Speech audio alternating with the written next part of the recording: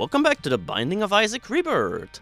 This is Challenge 9, Demo Man, and conveniently enough, you unlock this challenge by beating Mom's Heart 9 times, so I'm sensing a theme here. This challenge is all about the new item that we've unlocked after we finish our last playthrough, which is Dr. Fetus. This allows you to throw bomb at enemies and, and overall it's a pretty neat power up, but well, in theory it will be a neat power up, but as it is right now, this upgrade is bug, because it doesn't deal the amount of damage that it's supposed to do, but hey, in the very least at least, we can pretty much nuke everything, so we've got that going for. We also start with the remote detonator into this one uh, challenge, which makes it so that whenever you throw the Dr. Fetus bombs all over the place, you can choose whenever they explode, so you've got some more control over what you do in the course of this challenge. And finally, we also have the matchstick trinket, which makes it so that you have an higher chance to find bombs, but it's totally pointless because your main weapon is bombs that you just shoot like your regular tears, so all in all, it's completely useless. And look at that, we're in the cellar for the first time ever. And the first thing about the cellar that you'll notice is there's a lot of spiders. I really hate this place a whole lot because I honestly feel that at the point of the game, you're gonna fight a bunch of enemies that I really think for the most part you're ill-equipped to deal with. A lot of the enemies are way too strong for that moment in the game and honestly it makes going to the cellar a huge pain. But yeah, Dr. Fetus is bugged because it's supposed to deal 40 additional damage. With all of the damage it's also doing, it scales off your damage value and it multiplies all of the damage by 3. Also, the item that we got in the shop is the Broken Watch. It has a chance to make it so that in certain rooms, all of the enemies will be slowed down permanently, but some other time it can also speed up the enemies, so you gotta watch out. Yeah, we could throw her bombs at this thing. Oh, I don't want more bombs! What the hell is up with this? Once again, I'm never gonna use these bombs, so it's not as if I really need to get items that give me even more bombs. The second that I get a trinket that will allow me to collect something which is other than bombs, I will gladly swipe out of it. So, all in all, even though that Dr. Fetus is really nerfed a whole lot into this game, or at least it is right now because it's going to be fixed whenever Afterbirth will come out, but it's still a pretty easy challenge for the most part, because in the end, bombs still do a lot of damage, it allows you to keep enemies at bay pretty easily, and the second that you get a couple of damage upgrades, then you're pretty much set for success. And with the remote detonator, you get even more control over what you're doing with your bombs. Also, what the hell am I doing here? Am I trying to kill myself or what?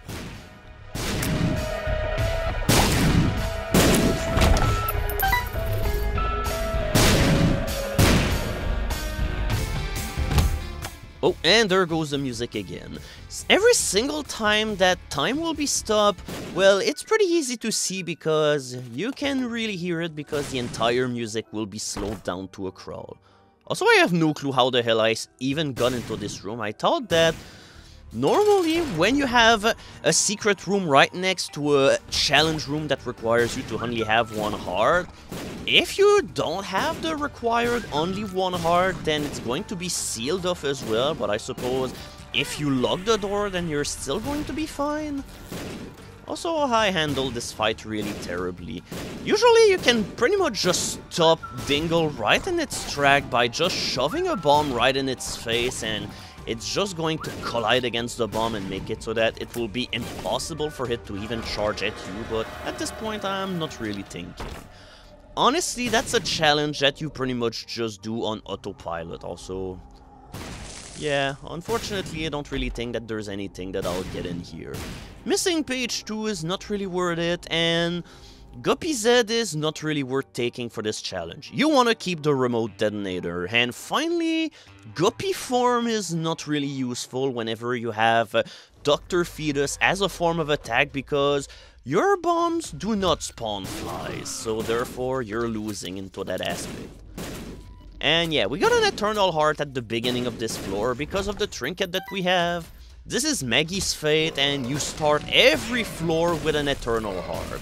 If you want to build up your health supply, it's a pretty good trinket, and it's especially good if you play as one upcoming character that we will have pretty soon, because that will ensure that you will get free health pretty much every single floor, unless that you're really bad at the game.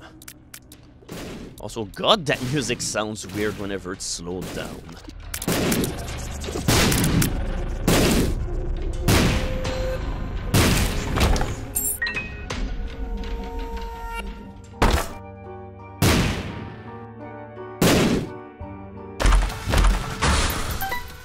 Hey, another playthrough where we're going to get a whole lot of new stuff. I always like those. So, yeah, Mom's Toenail, but what does it do?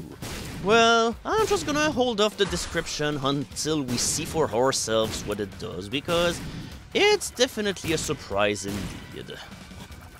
But once that we're gonna get it, I'm pretty sure that we're going to go back to Maggy's Faith, because Honestly, it's not really a playthrough where you'll tend to do a whole lot of deals with the devil, because the only items that you'll want will be the ones that will boost your damage, but other than that, there's a bunch of items that you can just skip altogether. There's a few items that you can get in a Dr. Fetus playthrough which will pretty much enhance your bombs in a really dramatic way, but we're not very likely to get them in this challenge, considering that there's no treasure rooms and most of the items in... Okay, so that's what Mom's Toenail do. Every few often and so, Mom is just going to stomp you out of nowhere, or an enemy, and it hurts a whole lot. And yeah, that's also what the remote detonator can do for you. Oh, tears down. I'm really saddened about that. Okay, with that said, however, we got a new item that we're going to stick. Hey, what is this? That's something we haven't seen yet. Yeah, every so often, you will get a trapdoor whenever you're bombing a rock that will lead to a crawl space, a la Zelda one where you can claim a random treasure. And sometimes it can even lead to the well-fabled black market, which is full of very valuable shop items that you can buy in exchange for your hearts. But it's very, very rare, so don't expect it to pop up too much. As for the item that we got, we got the inner eye. We got this in another playthrough, but it was uh, by re-rolling like uh, our entire loadout of items in a dice room at one occasion. So what it does is, we're shooting three bombs at a time, but unfortunately the drawback is that our firing speed is really, really low. But on the flip side, almost every almost everything that we're going to hit will just instantly die without any kind of question whatsoever. So, all in all, I think it's a fair trade-off. Also, I never noticed how come the torso of Polycephalus pretty much looks like a smiley face in itself. So yeah, our bombs might be puny, but whenever you shoot three of them at a time, bosses will still die pretty quickly, and for a boss like that, it's a pretty fair trade-in overall, because usually it will just pop out of the ground for a short instant of time, and during the time that it's up, then you can blow it up to pieces. And yeah, right now we can hear the speeding effect of the time of the broken watch. But thankfully it happened in a room where there was no enemies whatsoever, so we got lucky this time. Also, yeah, once again, these jerks. Goodbye. This is one of those times where I'm really happy that we can shoot three bombs at a time, because at least you can be sure that they will die pretty much uh, all at once, but with that said, whenever you start getting swarmed by enemies is where you'll have to start busting out the bombs, because otherwise you might end up having too much of a slow firing rate in order to handle everything going all around you. Now, here's for another fun thing that you can do whenever you have bombs. I want to collect this rock? Well, I can just blow it up toward me by throwing a shitload of bombs toward it. And now we got the dream item whenever it comes to Dr. Fetus. We got the Lucky Rock. Every single time that you blow open a rock, you get coins. And that's as amazing as you think it is. That pretty much assures you of having infinite money in the course of pretty much every playthrough that you get it in because, well, infinite bombs as well as uh, infinite rocks pretty much is a match made in heavens. But yeah, earlier you could see the difference between my regular bombs and the Dr. Fetus bombs. My regular bombs are somehow way stronger than three Dr. Fetus bombs.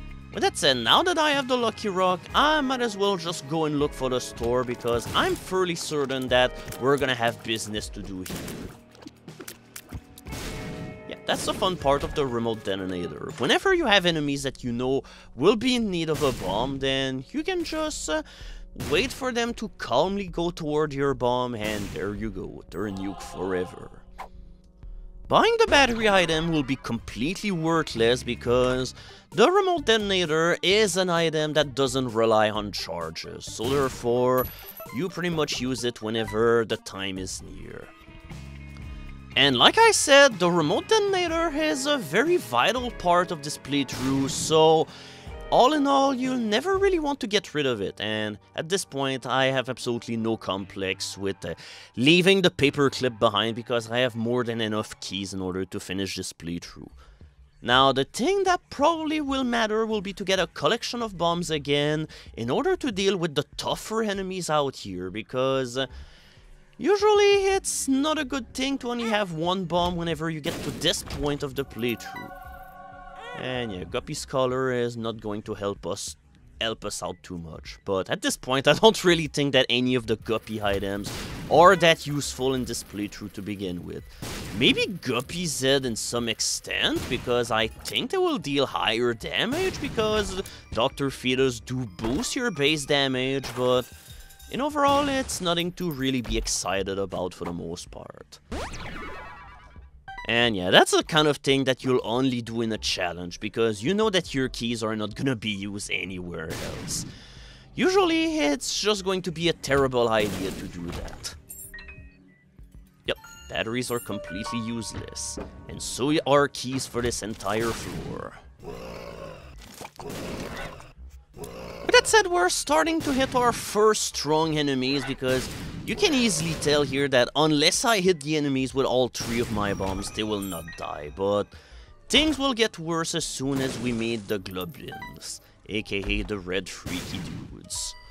These ones, however, are gonna be a pain. Oh, here they are! Speak of the devil. Yeah, as you can see, my firing speed is just barely fast enough for me to kill them.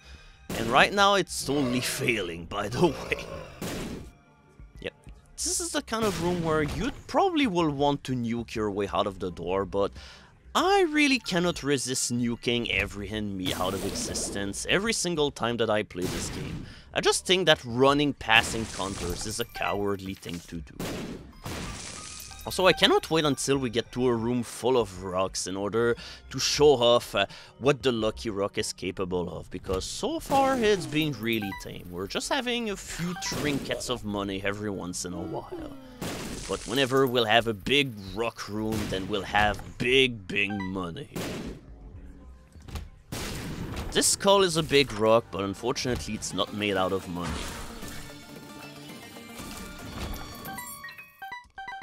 The Shario team, thank you for listening.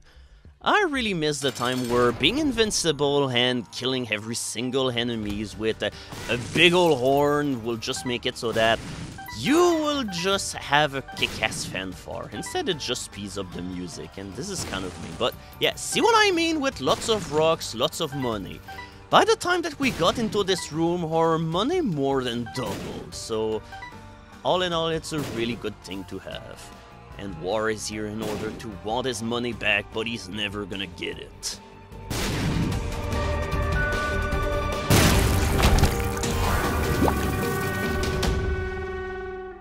Yeah, I was talking about devil deals not helping out too much during this playthrough, and yeah, I really didn't get a whole lot of devil deals, period, but to be fair, I lose hearts in almost every single level that I play right now, so it's definitely not helping. Also, yeah, playing slots is definitely riskier now. At this point, you're almost better off just nuking every machine that you come across. And at this point, I have so much money that I'm setting myself up to just have yet another meeting with Greed. Joy.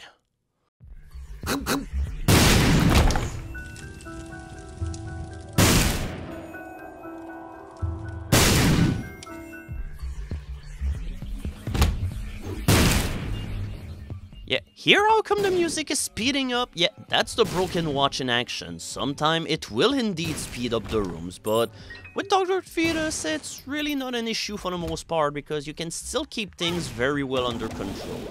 And that was not keeping things under control at all. I could have been able to just destroy this entire room really easily by just squeezing in and throw all of my bombs really fast, but I kinda bungled it up. Just like this. Excellent. Hey, at least opportunities of bungling mean that you also get more money. Also, why the hell am I talking about bungling? Oh my goodness. But at least this one room here is going to be perfect in order to resupply or stockpile of bombs in order to help out with those sticky situations. Oh, I'm really thankful that time slowed down for this really tricky room. I sure am grateful, game. But hey, it's still good that we even have that to begin with, so let's not be too picky for a change. So now that we're here and we have these items, there's really nothing left to the challenge. All that we need is to make it all the way to Mom's Heart in order to win. Yeah, that's right. It's another one of these challenges where you have to go all the way to the distance. Oh, alright. Yeah, this room, however, can be pretty nasty whenever... Well, not this room, but any room that involve uh, those invincible skulls that just go all over the place. Because they can ruin your entire day. So yeah, here's for another item that we got, it's the boomerang, and that's pretty much the extent as to where and how we'll use it, because honestly, it's not a very interesting item. It can snatch items from a distance though, so at least it's got that going for it, and yeah. We've got Curse of the Lost, so you can be sure that I will spend quite a while in order to figure out where I'm going because I have absolutely no sense of orientation whatsoever. I need the map in order to figure out where to go in this game. Also, I've been told that I use the word at this point a whole lot, or, well, the phrase, but really I'm not entirely sure what I can do about this, because that's been an habit that I have had ever since a very long while, to just take certain phrases and beat them all the way to the ground. And every single time that I figure out that I'm abusing a certain phrase or anything, then it just gets replaced with another phrase. So, yeah, at this point, I'm not sure there's anything that can be done with it. You will have to forgive me about this. Oh, hey, it's been a while, Ultra Pride. Also, a weird glitch that has sometime happened is that whenever you meet Ultra Pride, there are times where instead of spawning uh, Florian Himsl, aka the other guy who programmed the other uh, Isaac game, aka the one that was uh, for free and everything, well, sometimes he's just replaced by a baby angel. Not sure if that has any kind of meaning. Also, I have no clue why I use my Book of Revelation that will give me soul hearts for free and then not use a free charge that I had. Maybe I just guess, hey, I'm gonna get three soul hearts into the upcoming room. I am a genius that can see the future. But yeah, Book of Revelation is a really neat item because it's a constantly refilling blue heart that you can activate every 6 rooms. For early runs where you will take a lot of damage, it can be a lifesaver. And additionally, the Book of Revelation is the way that you will use in order to make it so that you can build a Super Meat Boy or a Bandage Girl, because if you activate it in a floor, it will guarantee that the next boss that you will fight, unless it's a predetermined encounter like Mom, Mom's Heart and everything, the boss will be a horseman. And well, horsemen give either the cube of meat or the ball of bandages. But some other time you will meet instead, well, the Headless Horseman, and eventually we'll meet another jerk that is replaced by every single trigger out here, and which is just going to make your life a living hell, because he doesn't give any of these items, but he's considered to be a horseman regardless. At this point, I'm hoping I will be able to get myself a Super Meat Boy or a Super Meat Girl, uh, wait, Bandage Girl! I shall know I helped beat this game for crying out loud. Hey, we've had so little luck with Devil Rooms that instead we're getting Angel Rooms, and we get one of the best items of the entire game. The Holy Mantle makes it so that you can just take a free hit in every single room. So all in all, this is amazing. And now we're fighting the angel inside the angel room. Essentially, once that you beat either the dark room or the chest for the first time, we had got a prompt that will say the angels are waiting. And this is what it means. It means that we can now provoke these angel statues and whenever you destroy them, you get a key piece.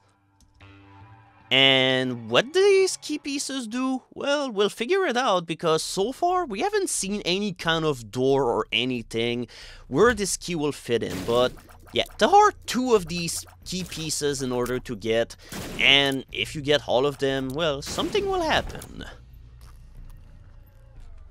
So, alright, only two more floors to go and yeah, even when time slows down, these enemies continue being complete dicks because for some reason, the mask part of this enemy doesn't slow down like the heart would. I have no clue why this is happening, it's probably yet another glitch, but it's another reason to hate these enemies so much. I really, really hate the little Mask of Infamies. These are just the kind of enemies that, unless you have a high enough speed stat, well, you're just going to die to them because they're almost impossible to avoid in certain circumstances. And speaking of stuff that is hard to avoid, yeah, sometimes you can get hit by these lasers even as they're fading out, so this is really not a great thing. Okay, so I guess we're not gonna give the left hand any kind of chance because we got instead a broken magnet. It kinda works because all it does is attract money to you, but hey, it's still better than nothing, and at this point I think it still has more worth than the left hand. One of these days I will probably do a proper showcase of this item, but I have the worst luck with it. Oh, yeah, I'm surely going to go to one red heart in order to have no additional benefit whatsoever. Yeah, I'm sorry, but this is not a time to pick up the dead cat. Instead, we're just going to pick up whatever the key beggar will throw at us, because in these playthroughs you have nothing better to do with your key, so you might as well chance it. Occasionally you might get a good item out of the deal. Oh, okay, that was a good time for you to finally cough up your item, just as you're about to get nuke. Maybe this is what I had to do all along in order to get something out of him. So we can either throw bombs at them, or we can just throw a bomb in the middle of them, and I mean lay a regular bomb, and I'm pretty sure that we will have pretty much instantly wiped out these enemies. Oh, it's Loki! Always so enthusiastic, despite being cut in half. For some reason, this is one of the bosses that you see the least in the game. Whenever you get to the later areas of the game, like the dark room or the chest, you will usually just fight like two or three low keys, but you will never fight a bunch of Lokis. And I guess that's a fair point, because, hey, these ones, I mean, the regular Loki guy will just spawn the flies that explode, and these ones just unleash the regular big red flies that explode into a bunch of projectiles upon dying, which I guess is more annoying to deal with, and not as fun to work against when it comes to your enemies. Oh, let's play the arcades in slow motion! Oh, or not, because you know where we're going with this. Yeah, this would have been a great playthrough to get uh, money his power. Money equal power, because at this point we will be stronger than everyone on Earth. So yeah, we have two ways that we could deal with this guy. We can either time our shots really well like that, or we could have also bombed the boulder that was on the bottom right corner and mirror all of our movements so that it will walk on the spikes in the top left corner. Oh, good thing that time decided to slow down because honestly if time was fastened up all the way to the top, this room might have been troublesome, but hey, now it's perfect. Also, yeah, that's what the mysterious candy is all about. This is a uh, trinket that just makes it so that you lay poop everywhere. It's about as useful as you think it is. And yeah, at this point we're gonna bomb all of the mushrooms because Hey, we can still get a mini mushroom out of those, which will make us even faster, and additionally it will also increase the range of our bombs, which will make it even more convenient to fight enemies, but at this point I don't think it's gonna happen. At this point, I don't really think that I've stuck to one single trinket in this uh, entire run for more than one or two floor. We're constantly swapping things and, well, this is always fun to see. But yeah, at this point we've already saved up on a lot of health just by having the Holy Mantle. This is the most valuable of items that you can get, and whenever we'll get to a character which is called the Lost, well, that item is gonna work magic, and fuck this room. I honestly do not want to deal with those uh, enemies right now, because it's gonna take a while and I'm not gonna get anything good out of it. At this point, the only thing that matters is to get out of here. And yeah, that's another good practical use of Holy Mantle. Take a hit just in order to make a room a little easier to do, for absolutely no cost or anything. The Holy Mantle is also a pretty good item that will encourage you to start playing a little bit more aggressively because you're not gonna have the same fear of losing health upon colliding on an enemy and honestly, how can you rally against that? Because blowing a whole lot of things up and playing Oh my god, just do something about... Ah, I hate these enemies whenever they just don't want to do anything. So yeah, it's Mom's Heart. Honestly, this is just going to be a long fight, but it's not really going to be a hard one. We can take our time here, we're gonna blow all of the enemies, or we can let Mom's Heart do the job for us. And yeah, we can also speed up the process a bit with our bombs, which at this point is the best source of the damage that we have. The best way to do it is just to lay down a bomb and then push it with your, with your body. And it's even easier to pull off when you have the remote detonator, because you have absolutely no time constraint in order to do so. You just lay down the bomb and everything is gonna work out at your whim. And yeah, speaking of things that are working at our whim, yeah, at this point the fight is over because Mom's Heart is not gonna retreat back anymore in order to go into hiding. And yeah, didn't even use the rotating brimstone, so all in all that was a pretty easy victory. Both against this boss and both for this challenge.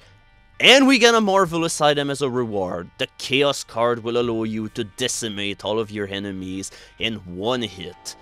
At the cost of only being able to use that once. But hey, it's a really great item and whenever there are bosses that you hate, this card is for you. Just throw it at someone's face. You'll love it. So, we've played as everyone we can play as so far, so we're gonna have to revisit an older character. I've asked my viewers to do it for me, and let's see the results.